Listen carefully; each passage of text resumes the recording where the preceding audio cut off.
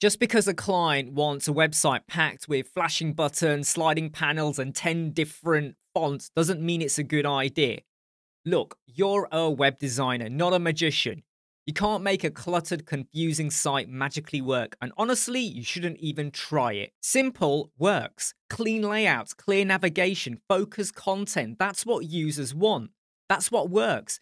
A website isn't a treasure hunt. No one's going to try and decode every single animation that you load on there.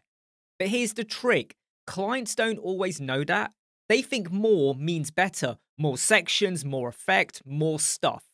It's your job to guide them. Show them that simplicity isn't boring, it's smart, it's effective, it converts. If you want your business to grow, keep the website clean. If you want users to stay, make it easy politely remind them we're designing for their customers, not their ego. Don't use the word ego, but you get the idea.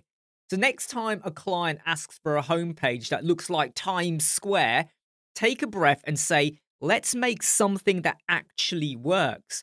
Because simple doesn't mean less, simple means better.